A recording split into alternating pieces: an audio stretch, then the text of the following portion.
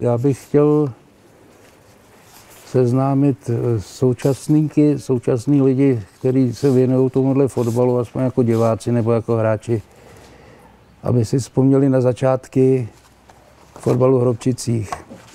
První hřiště bylo postaveno, bylo vybudované směrem na Razice za, za Mukovským potokem, ale protože bylo pořád vlhký, tak jak to mám od těch pamětníků, kteří to zažili, tak eh, pan Matouš nabídnul, tady byl takový zkušební poligon, vysypaný metr, metr a půl škváry, kde se zkoušely opravené stroje, tak eh, se tady vybudovalo fotbalové hřiště, který teď slouží až do teď. Eh, ve vedení fotbalu podle těch pamětníků, který to tak se vysílalo, taky spousta lidí na mátkou budu jmenovat právě toho Břeťu Matouše, eh, pana Rafaje, který se tady o to staral, staral Pepa Lehký, který tady vedl žáky v té době, prostě na, na všechny si nespomenu, ale i těm, kteří, který nebudu jmenovat, tak jim patří dík za to, že to tady udrželi ten fotbal. Původní fotbalový tým se skládal většinou teda z hročických a mirejšovických lidí nebo hráčů. Později, jak to přešlo pod tu traktorku, tak uh, zaměstnanci traktorky se dostali do tohohle manšaftu. Uh, a reprezentovali vlastně hrobčice. Jarda Kohout, Boďa Kuliha, Jarda Černý, spousta kluků, který, eh, když já jsem sem přišel v roce 82 jako hráč, tak jsem s nima hrál. Ještě jsem se chtěl zmínit o panu Havelcovi, který dělal předsedu Národního výboru, který hodně taky se věnoval tomuhle tomu fotbalu.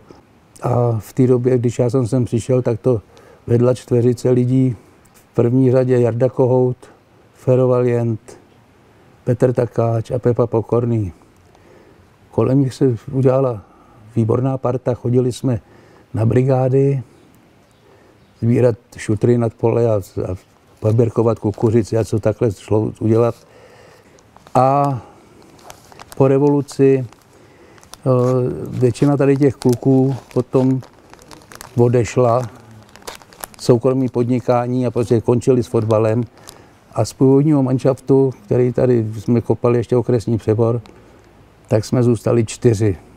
Nebylo jednoduchý, když za mnou přišel potom starosta Janda, jestli ještě budeme hrát fotbal, anebo jestli to má rozprodat to hřiště na stavební parcely. Tak jsem se zakous, zvolal jsem Pepika Mikšíčku, Pepika Pokorných, Dali jsme se do toho znovu, ale už pod novým, pod novým eh, patronem státní statek Hrobčice, kde teda eh, se hodně zasloužil Pepa Pokorný.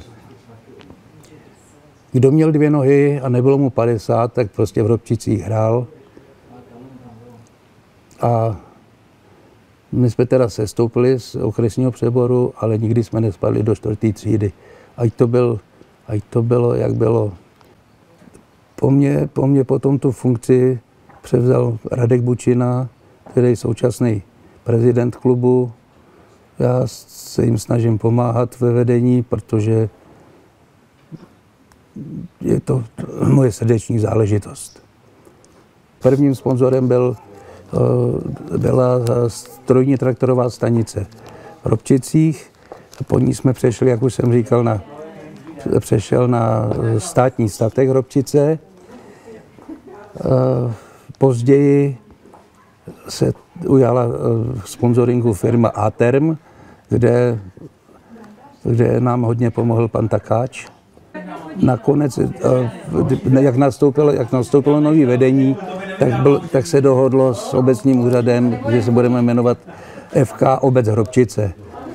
Chtěl bych podtrhnout jenom to, že vlastně nejvíc nejvíc právě dostáváme od obecního úřadu, jak pro mládež, tak pro dospělé. Eh, je to tady prostě na velký úrovni, vysoký a všude se můžeme vytahovat, protože málo kde mají takového sponzora, jako je teď obecní úřad Hrobčice.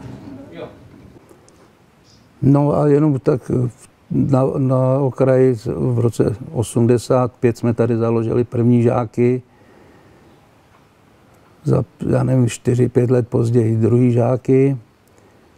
Teď v současnosti jsme vlastně zrušili žák, další, další žáky, a, ale bohužel jich není tolik. Celkově mladých fotbalistů ubývá. Ale za to tady máme zase založené přípravky, které jsou vlastně už třetí rok. V současné době jsou přihlášeny starší přípravky, mladší přípravky, takže pořád je tady kolem fotbalu co dělat.